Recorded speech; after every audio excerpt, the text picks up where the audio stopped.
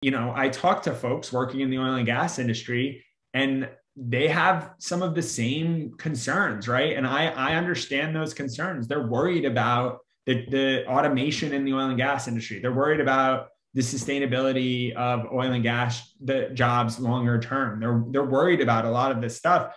And there's uh, we've got a commission that is, you know, one of the, the the Railroad Commission's slogan is leading Texas energy. Because for a long time, what that they they did do that. They were advocates for Texas energy leadership.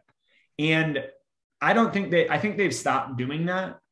And I, you know, one of the things I want to do as commissioner is outline a vision for what it means to be for Texas to continue to be an energy leader for the next hundred years, just like it's been for the last hundred years. But the thing that's really important is that it's going to mean something really different in the next hundred years than it did in the last hundred years. And we need somebody who both understands where our economy has come from, but also where it's going.